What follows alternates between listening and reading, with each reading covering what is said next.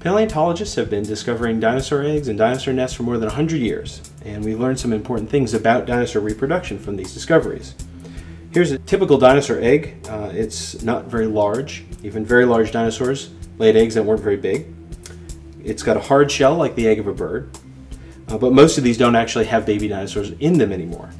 When we're fortunate enough to find the bones of baby dinosaurs with the eggs, we can learn quite a bit more. You can see these bones are quite tiny, Baby dinosaurs were very small regardless of the species. They grew up very, very quickly. And so we can learn a lot about the reproduction of these animals from fossils like this.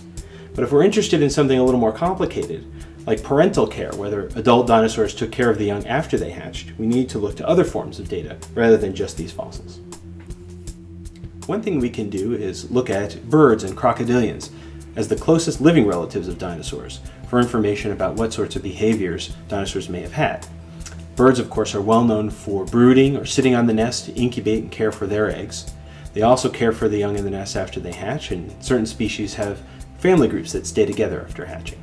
Crocodiles also care for their young, especially after hatching when the young are small, they're often protected by the parents. So we might expect that dinosaurs, having a common ancestor with these two groups, may have inherited some of these behaviors. There have been some extraordinary discoveries that show us real evidence of dinosaur reproductive behavior. We have fossils of animals like the Citipati, which was found sitting on a nest of its own eggs. And so we can tell that some species, at least, brooded like birds do today. We also have fossils that show baby dinosaurs that stayed in the nest after they hatched, and therefore they must have been fed and cared for for some time by the parents. There's also more circumstantial evidence that suggests certain dinosaurs may have lived in family groups. We sometimes find trackways, for example, where we find the footprints of large and small individuals of the same species uh, moving in the same direction. I found this in a stream bed after a flood, and um, there was a lot of silt on the bottom and on top of this, but because the water was clear and the sun was out, I noticed that there was a depression that looked like a single dinosaur track of, of moderate size.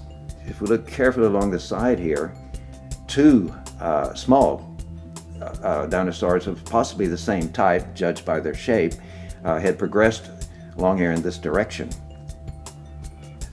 Uh, this, to me, uh, is kind of exciting because it suggests that we may have had a family grouping or at least gregariousness among the same types of dinosaurs, uh, suggesting that they were walking all along here at the same time. So it seems clear that some species of dinosaurs uh, brooded on their nests and cared for the young for a time after they hatched. But we only know this by bringing together information from different kinds of data fossils of eggs and baby dinosaurs, the living relatives of dinosaurs, and circumstantial evidence from trackways and other sources.